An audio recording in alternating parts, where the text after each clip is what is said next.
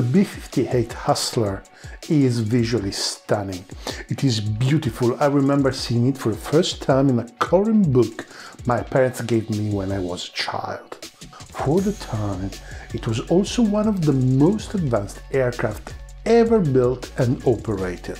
And yet its operation story has been short and unremarkable, or better, it was punctuated by records and accidents, but it never fired a shot in anger, nor it really contributed to the general deterrence mission. This is the first video of a series where we will go through its history and the myriad of groundbreaking technologies implemented on the plane. As usual, stay till the end because the stuff that we are going to discuss here is very difficult to find anywhere else.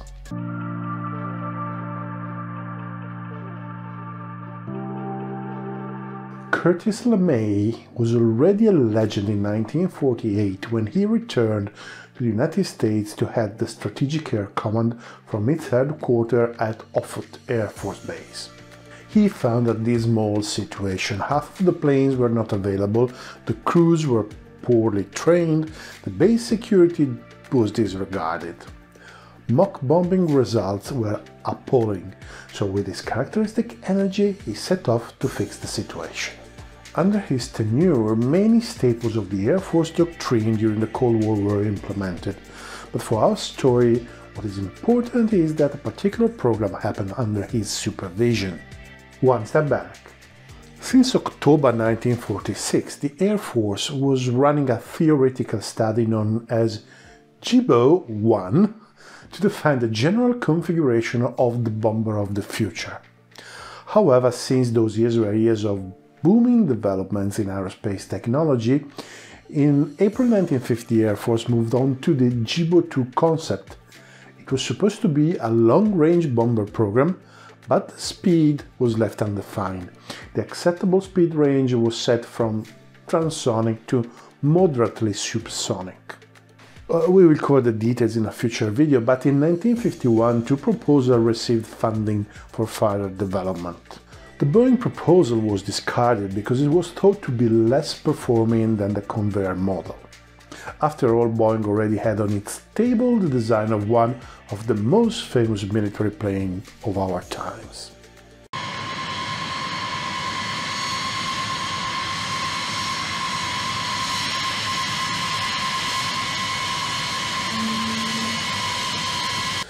The Convair proposal, though, was for a small delta wing parasite aircraft launched from a derivative of the turboprop B-36.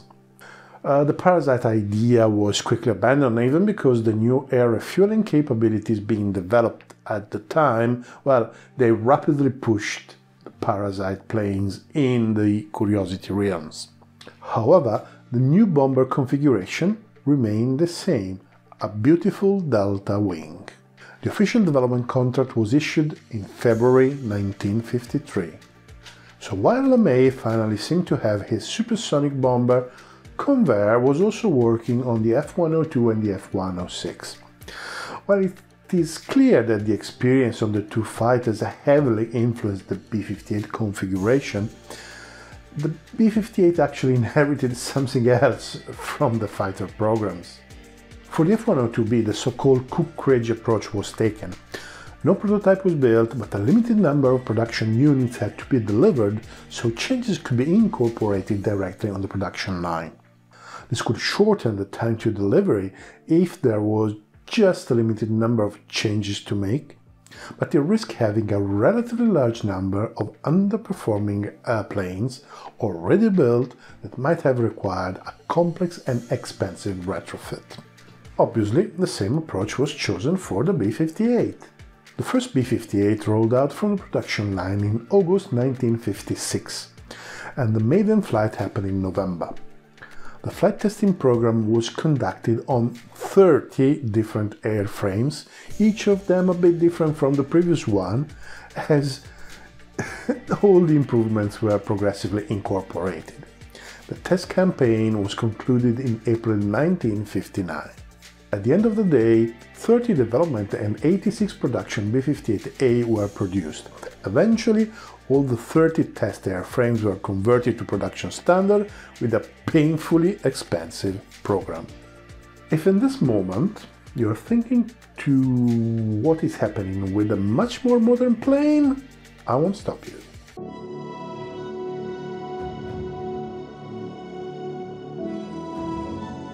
In August 1960, the B-58 was declared operational.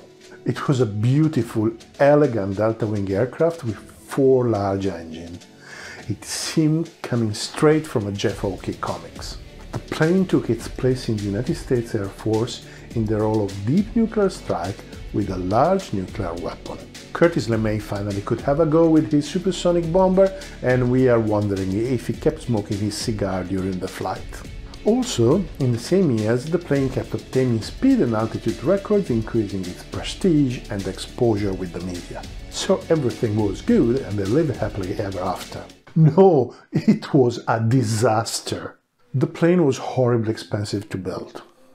Pilot training was also expensive because they had to be trained on the F-102 Delta Dagger to familiarize with the peculiarity of Delta wings. The massive amount of new technology incorporated into the plane required highly trained ground personnel and an insane amount of man hours to keep it operational. Pilots loved the plane because its speed performance was stunning.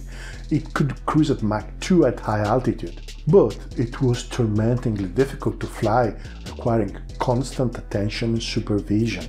It suffered a sudden shift of center of gravity, it was easy to depart into spin and very difficult to recover. It took off and landed at scary high speed and frightening angles of attack. In 10 years of operating life, 20% of the B-58s were lost in flight accidents. When LeMay flew in one, he found it cramped and unsuitable for long-duration missions. Finally, the operating range was never really satisfactory and the B-58 required too many tanker missions to execute its own. However, it wasn't all doom and gloom, it was worse. The 1st of May 1960, the U-2 spy plane flown by Francis Gary Powers was shot down by an S-75 Dvina Soviet surface-to-air missile, well within the territory of the Soviet Union. This obviously caused concern, but the B-58 that was just entering service seemed safe at almost 20 kilometers above the ground at a speed of Mach 2. Then reports of the missile capabilities and the Soviet air defense density started to pour in. The B-58 production was not over yet, and the plane was already obsolete. So the B-58 wings changed their tactics to low-level penetration, a mission in which it was spectacular to see. However, flying a plane difficult to handle, not to the ground, well, is definitely not ideal, and the speed at sea level was subsonic, and the operating range was even shorter. It was clearly only a matter of time. When the young McNamara became Secretary of the Defense, the B-58 was one of the programs that attracted his attention. It was a hard political fight, but the United States Air Force was ordered to decommission the plane by 1970. And so it happened.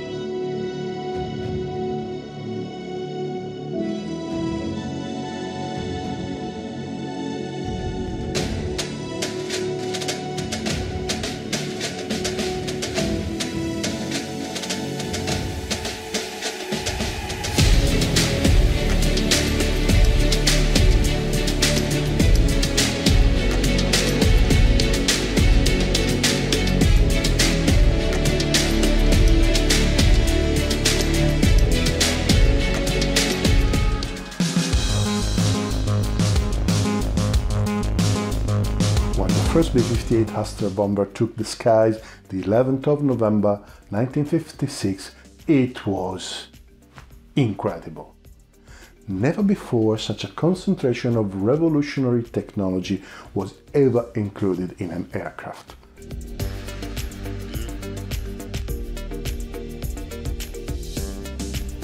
One of the first revolutionary features of the B-58 Hustler was the use of new structural designs and materials in constructing the aircraft. The aircraft structure was heavily stressed not only in terms of aerodynamic loads, but also because of its high speed.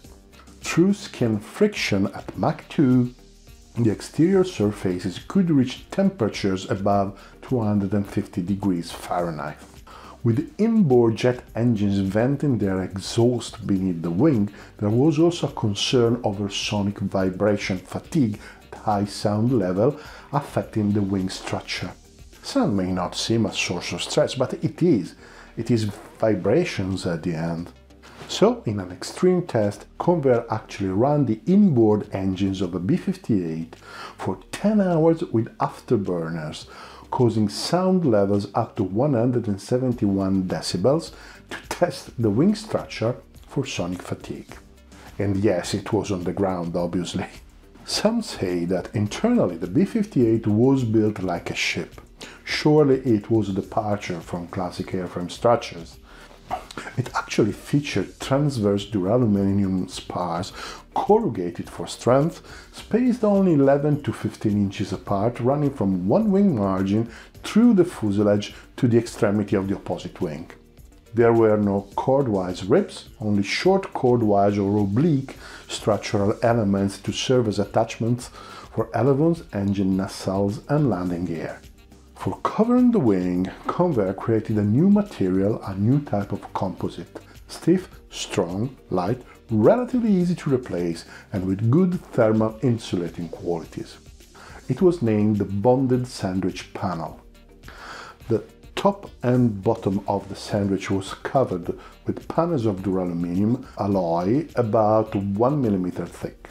The filling, about half inch thick, was made of tiny honeycombs of phenolic resin impregnated fiberglass cloth. The core was bonded to the outer layers with phenolic adhesives and then heated at a pressure of 175 psi at 350 degrees Fahrenheit for two hours. Absolute cleanliness was essential for solid bonding, and the department of the Convair plant where this was done was known as the hospital. Finally, the panel was attached to the wing structure with titanium screws to allow for an easier and stress-free replacement. In areas exposed to high temperatures, such as the aft section of the engine nacelles and the ailerons, uh, which dip into the blast of the jet, panels of stainless steel sandwich replaced the fiberglass ones.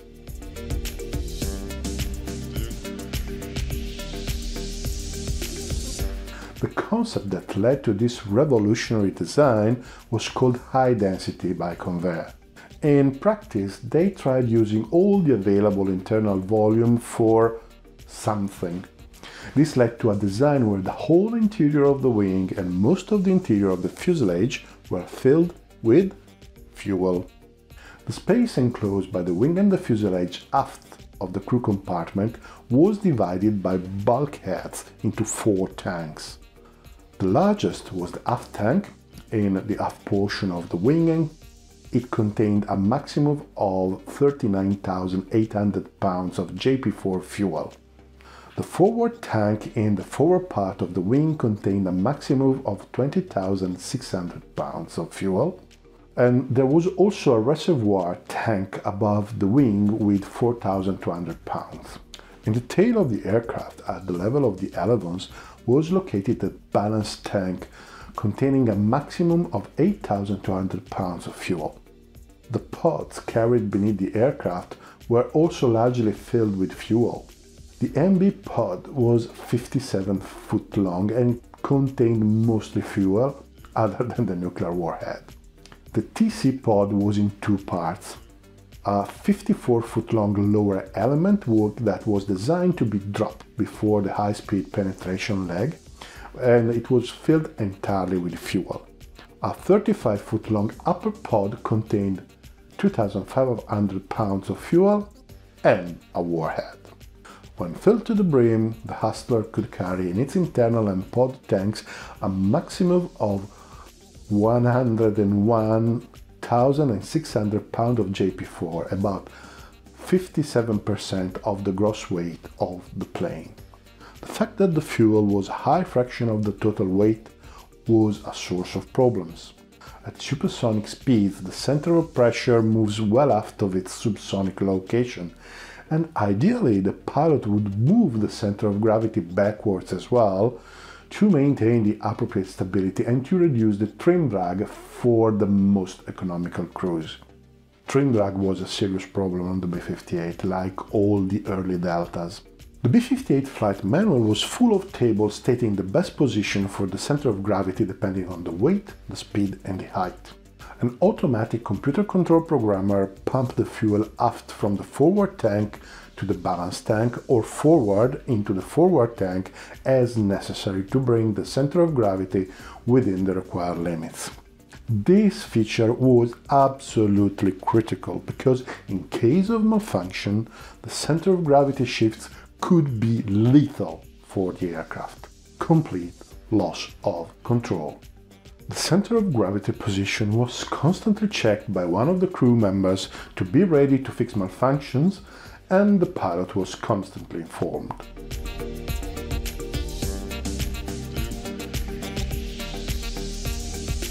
The four engines of the B-58 Hustler were General Electric J79 5As, or 5Bs. They were rated at 10,000 pounds with maximum afterburner. The engines were remarkable for the time because they had variable position inlet guide vanes and variable position stator vanes in the first six stages of the compressor. These were automatically set in relation to engine speed and compressor inlet temperature to admit the correct amount of air to the compressor and to direct it against the rotating compressor vanes at the proper angle of attack thereby minimizing the possibility of compressor stall. Nozzle flap in the engine outlet area provided for optimum thrust and specific fuel consumption under different engine operating conditions, and they were opened and closed by the throttles. The throttles had six settings. Three were the classic off, idle and military. To achieve the design speed, the Hustler had to be driven by the afterburners, and these increase their thrust as the throttles are advanced to min afterburner, max afterburner, and OVSP, that is, overspeed. In the latter setting, the engines were allowed to overspeed at 103.5% of their maximum RPM. I was actually unable to verify the point, but it seems also that there was a way of operating at 107% RPM for 5 seconds or less. But operating above 107% for any engine uh, require the engine to be returned to the factory for a full overhaul.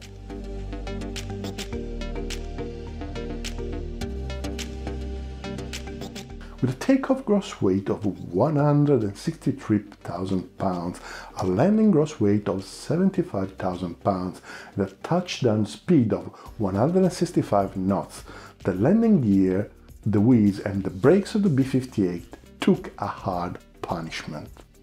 The two main gears featured four non-frangible steel wheels, each bearing two 22 inches diameter tires inflated to 240 psi. An enormous amount of energy was absorbed even in a normal landing.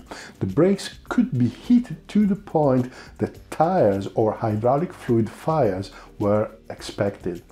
Firefighters had to approach the landing gear from the front or the rear due to the danger of tire explosions. There were also two separate and independent hydraulic systems, the primary and utility, each having two engine-driven pumps maintaining a pressure of 3000 psi. Both systems share the operation of the flight controls, the elevons and the rudders. Should one fail, the other system could assume the full load. Should both hydraulic systems fail, the pilot had no further means of controlling the aircraft and the crew had to eject. The hydraulic system also operated the landing gear, nose wheel steering, wheel brakes, tail turret, aileron, elevator and the rudder damper servos. A pneumatic system was available for emergency extension of the landing gear and for emergency braking. Electric generators driven by engines number 1, 2 and 3 provided 115 or 200 volt alternating current which powered part of the avionics and the fuel pumps. Some of the alternating current was rectified to provide multiple direct current between 28 and 250 volts to caution and warning lamps and other avionics working in DC. The defense systems operator's cockpit was practically lined with panels of individual fuses which were uh, to be checked by running the hand over them. A small pin protruding from the cap marked a blown fuse. Other fuse panels were in the navigator's cockpit.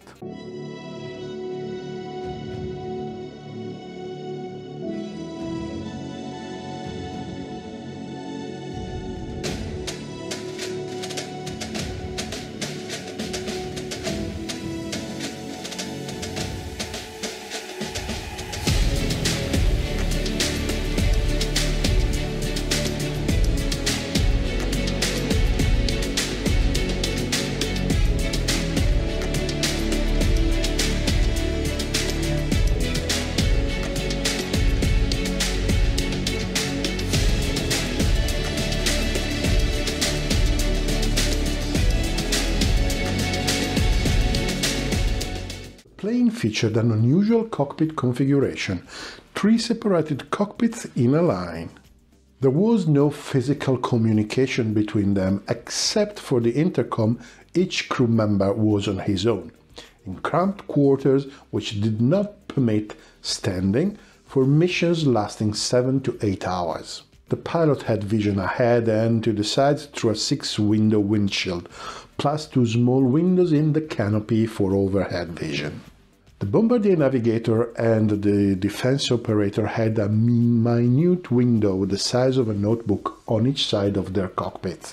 These were basically there to avoid claustrophobia, but often they were covered by opaque cloth curtains. Each cockpit had its own individual canopy. It was hinged at the rear, moved pneumatically, and it could be jettisoned if necessary. Each cockpit also had an individual escape capsule, the first enclosed escape system in an aircraft in regular service use. Flight personnel was sized for the capsule at the start of the training course, and it was an essential requirement to remain in the program. The capsule could be closed and pressurized within 7 seconds in case of loss of cabin pressure at high altitude, enabling the flight personnel to avoid pressure suits. In this situation, the pilot could see part of his instrument panel through a window in the capsule door and with full control through the stick inside the capsule, he then could fly the aircraft to a lower altitude and then decapsulate. Is that a word? Buttons on the stick, a sort of early HOTAS configuration, enabled him to disconnect the autopilot, shift the center of gravity, and retard the throttles while encapsulated. In an emergency, rockets ejected the capsule from the aircraft with the enclosed personnel being protected against the harshness of the situation. After the deceleration of the capsule, the parachute deployed. Obviously, the capsule contains survival gear, including a radio, rations, water, the salting gear, clothing, and a rifle. It would stay uh, afloat if it landed in the sea.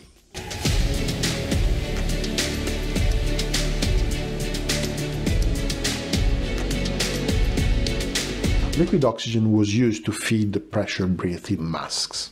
The interior of the crew space was cooled by two separate air conditioning systems. In a sort of direct flow, the cabin and the crew member was cooled. Then the heat generated by the electronics was actually removed by the same air pumped through the cabin. If the electronics was in full use and it was generating too much heat, the flow was inverted and the electronics was cooled first while the crew member started sweating. To get the Hustler, the pilot had a pair of conventional rudder pedals and a massive plastic control stick, uh, with which he made the conventional control movements. Yet he was not moving the rudder and the elevons, but he merely was activating valves which, through a power control linkage assembly, moved the control surfaces by hydraulic force. The system was efficient, but it was plagued by the stick torque back issue, a pulsating kick of the control stick when the hydraulic pressure fluctuated at the stick's extreme limits of movement. In a system like this, there is no transmission of control surface feedback through the stick and pedals, so an artificial feel system provided a substitute.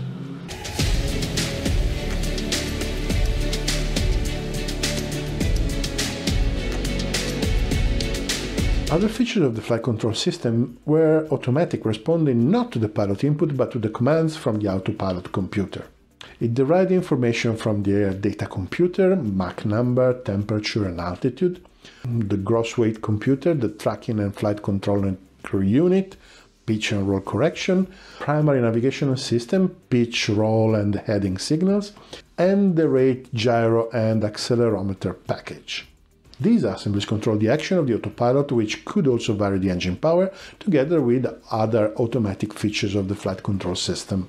For instance, damper servos move the control surfaces automatically to damp the rate of pitch, roll and yaw because undamped movement of the Hustler at supersonic speed in particular could have been dangerous as the aerodynamic loads might have exceeded the structural limits. Now, Think how excruciatingly difficult would have been doing all of this with the computers available at the time, most of them still analog devices. An automatic elevator trim system positioned the elevons to maintain constant 1G flight with the control stick in neutral.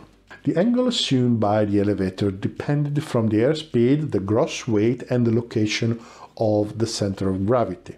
It was indicated on the instrument panel on the elevator position indicator. Another dial indicated the amount of elevator movement possible. This depended in turn on the airspeed and it was determined by the elevator ratio changer. The latter, in response to the Mach computer signals, varied the stick to control surface mechanical ratio in order to protect the aircraft against excessive G loads all of this may seem very complicated, but it basically means that in this way, large control movements were used at lower speeds, while at high subsonic speeds, control surfaces movement was to be limited because the high uh, air pressure involved. However, at supersonic speed with the control surfaces blanketed by shock waves, larger surface movements were required to produce the same effect. The aileron controls likewise had an automatic trim and ratio changer.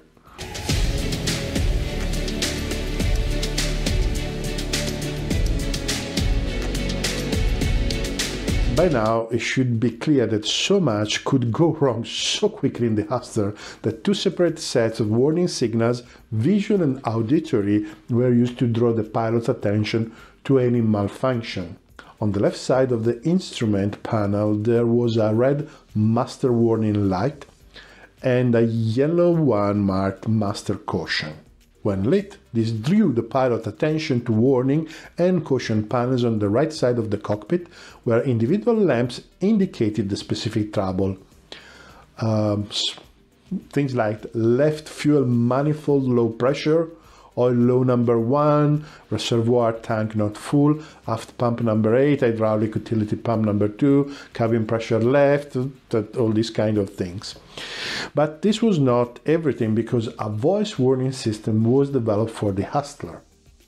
A pre-recorded feminine voice used to break into the masculine chatter in the pilot's earphones with one of the 20 announcements like weapon unlocked, hydraulic system failure, check for engine fire, nose too high. It was the first time that anything like that was implemented and it was the cause of a lot of jokes and banter.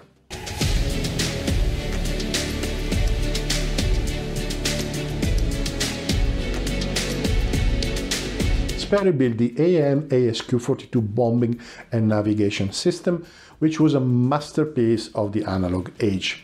When operating in the navigation mode, it was literally capable of directing the B-58 Hustler by the autopilot along a great circle track at a constant Mach number and altitude to any point on the globe. The navigator simply had to set the latitude and the longitude of his true present position on his navigational control board and the latitude and longitude of his destination position on the sighting and test panel. The computer occupying the front of his cockpit did the rest, with the help of the data coming from an array of sensors. Towards the rear of the aircraft, in the fuselage between the forward and aft fuel tanks, was located the uh, inertial navigation system with the so-called stable table, whose attitude was gyroscopically fixed while the aircraft moved around in pitch, roll and yaw. It was also used to provide a secondary measure of the ground speed. The primary ground speed source was a Doppler radar transmitter and receiver in the tail measuring the true ground speed by the Doppler shift of the radar signal. Above the stabilization unit and protruding slightly above the skin of the fuselage, there was a transparent and rounded cupola for the star tracker unit. Bisecting on the astro control panel the Greenwich hour angle, the sidereal hour angle, and the declination of the sun or of a star to be used for navigation purposes, the system could lock on the sun or the star. It provided continuous heading information to the computer. Should the celestial bodies be obscured, heading data could be received from the remote compass transmitter inside the leading edge of the fin. The search radar in the nose displaying a radar representation of the terrain below on the scope in the navigator's cockpit uh, provided a further check on position. Crosshairs in the scope itself indicated when certain fixed points on the ground preset into the computer were coming into view. A radio altimeter measured the height above the terrain. The air data system also fed the true airspeed, pressure and altitude and air temperature into the computer. In the bombing mode, the bombing and navigation system guided the aircraft on a loxodrome line over the target, compensating for wind drift and Coriolis effect, while offset points and fixed point set into the machine beforehand came up beneath the crosshairs in the radar scope. During the run-in, the navigator, while watching the terrain below on the radar, could make small correction in heading with the tracking and flight control stick in his right hand, which operated through the autopilot. At a time calculated to provide a burst over the target, the bomb nav system in the bombing mode automatically released the weapon, feature that was going to appear much later on other aircraft.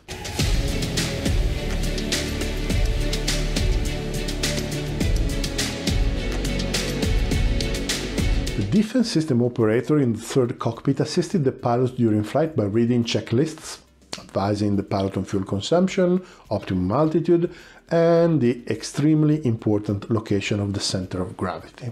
His primary duties, however, were in connection with the defense systems.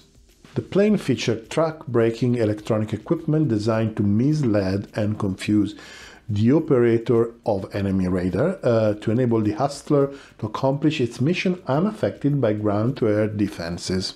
And this sounds incredible for the 50s.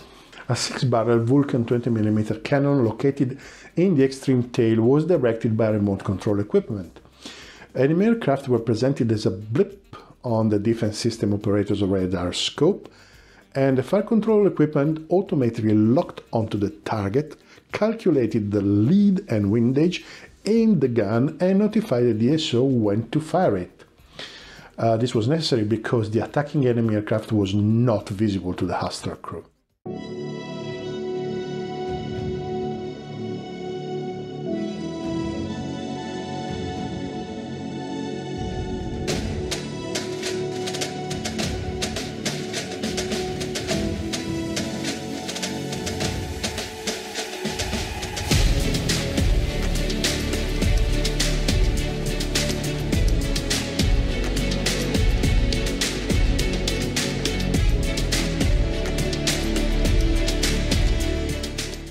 We are going to cover what we did not cover at the beginning, the long and exciting story from its inception to its deployment.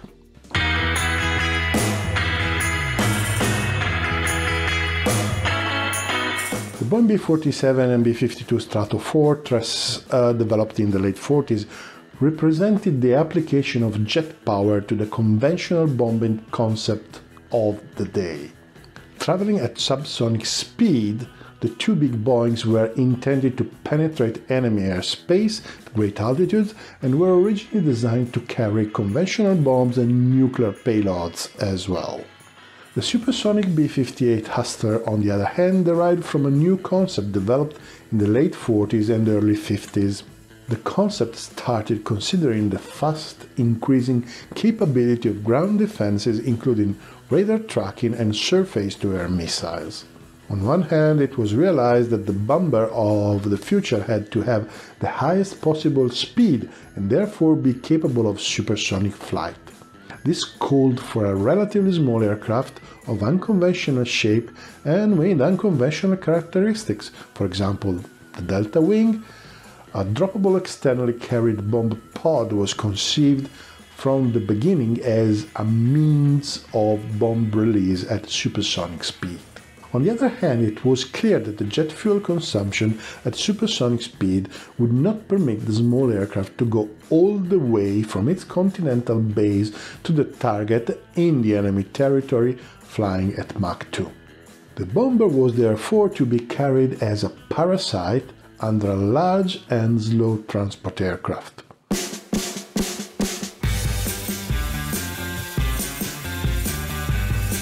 So the journey was divided into three zones. The logistics zone at the start, during which the parasite would be attached to the parent transport. Um, the combat zone near the enemy's border, where the parasite would be released, and the target zone into which the short-range bomber would penetrate at supersonic speed to bomb and return to the parent aircraft. Contrary to what many think, low and high altitude were both considered as well. Convair firm of Fort Worth, Texas, uh, to be merged in 1954 with uh, General Dynamics, had been involved in advanced bomber design studies since October 46. At that time, it received a contract with the Air Force for a theoretical study of the long range subsonic bomber of the future known as the time as the GEBO, G-E-B-O, Generalized Bomber. Approximately 10,000 configurations on paper were studied and compared with respect to speed, range, and gross weight, and involving different combination of wing area, aspect ratios, sweep back, turboprop, and pure jet propulsion. I actually wonder where this number is coming from. It seems rather impossible in an era with no digital computers, but the sources say so and ultimately this study led to an Air Force requirement for a medium bomber with a gross weight of 200,000 pounds, a radius of 2,000 miles, and 10,000 pounds bomb load. On June 6, 1949, Convair received from the Air Force a contract to continue uh, the generalized bomber studies under the designation of GEBO 2.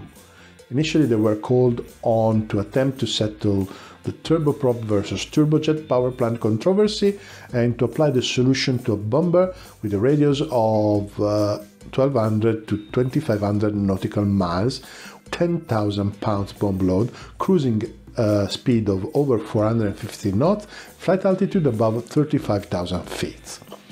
However, in April 1950, the GEBO 2 requirement was changed for a system able to attack targets 3,000 to 4,500 nautical miles distant at a speed between Mach 09 to 1.5. Convair had already proposed in January 1950 a small delta wing composite uh, carrying two men, which would be transported into the target zone by a B 36. With one engine in the tail, two droppable jet engines under the wings, and one in the tail of the long finned bomb pod, all without afterburners, the Parasite would have a launch weight of 100,000 pounds, would cruise to the target Mach 1.3, increasing to Mach 1.6 over the target, and reach a maximum altitude of 48,500 feet before pod release. After the attack, the return component would fly back to the B-36 with a single engine at Mach 0.9. A modification in the fall of 1950 involved two fixed jet engines buried in the wings, two droppable engines under the wings, and a fifth in the long streamlined pod, plus an advanced bombing navigational system. Both configurations featured passive electronic countermeasures, but no active defense. Originally, the pod was intended to carry conventional explosives, but early in the GEBO 2 program, a thermonuclear warhead was incorporated.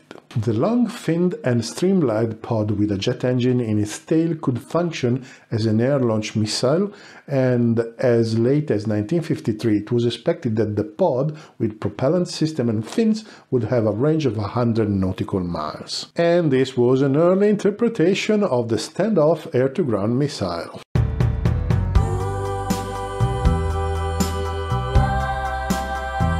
Though the XB-55 had been cancelled, Boeing was working on a four-jet shoulder-wing bomber, the Project MX-1022 with 47 degrees sweep back of the leading edge, a tail reminiscent of that of the B-47, and a three-man crew. Uh, later, this was to be referred as XB59. The Air Force budget for the fiscal 1951 and 1952 supported both the Boeing design and the Convair to Delta parasite, and in February 1951, both firms received Phase 1 contracts. The Convair MX-1626 proposal was for a small delta-wing bomber to be carried as a parasite under a turboprop power B-60, the swept-back variation of the B-36. It would now have only three non-afterburning engines, two fixed one in wing nacelles and one in the pod, a gross weight of 177,000 pounds, two-man crew and a small landing gear to carry the weight of the return component only.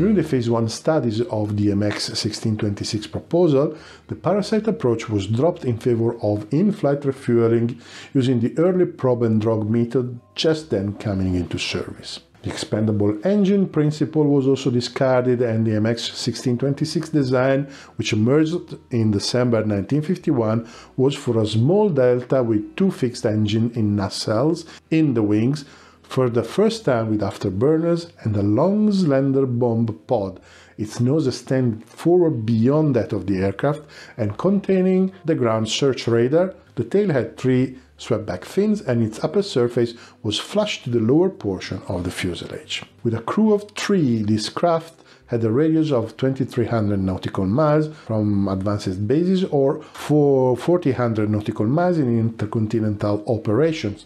With a single outbound refueling.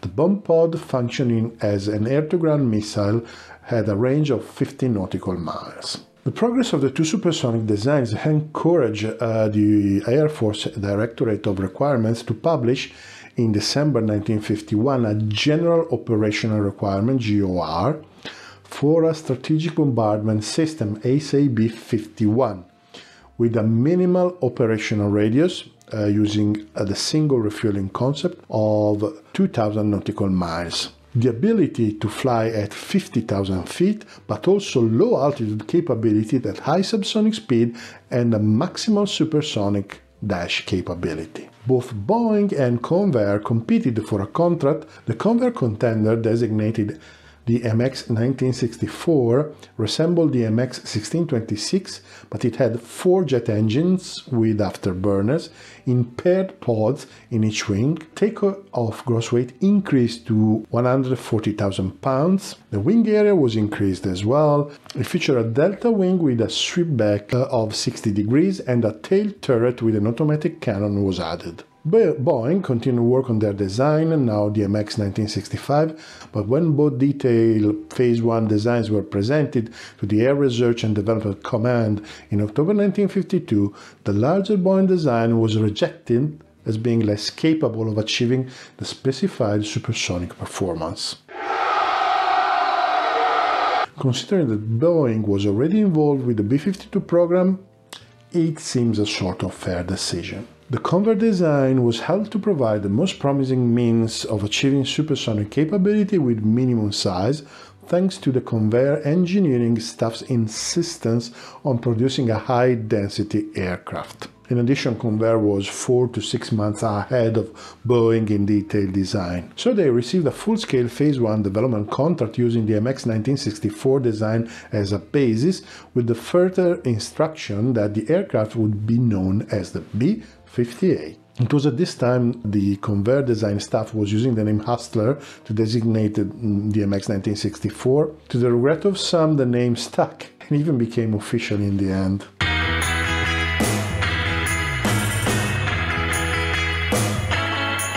Well, the rest was development, and details, details, details. In March 1953, the aft fuselage was fined down under transonic area rule, and the four engines were distributed in four separate stagger pods. The leading edge of the wing was cambered and twisted to minimize the loss of efficiency at the tips. A small 10 degree trailing edge angle was added to the wing, increasing the area to uh, 1,542 square feet, and the takeoff weight increased to 150,000 pounds. In September 1953, the four jet engines were again in twin pods, hung on pylons under the wing with added fuel for intercontinental flight in wingtip tanks. The search radar, which had extended out ahead in the nose of the bomb pod, was mounted in the nose of the aircraft, enabling the pod to be shortened. In August 1954, the airframe was redesigned for the last time in the light of the supersonic area rule. The jet engine nacelles were hung individually under the wings, the fuselage redesigned with additional room for fuel, permitting the tip tanks to be eliminated Guys, take a decision. Wind tunnel tests confirmed that a significant increase in supersonic performance could be expected. And finally, this design was unchanged up to the date of the first flight, the 11th of November 1956. From this point on, we have already told the story of the B-58 and described its particularities, and now I invite you to refer back to the previous three parts of this series.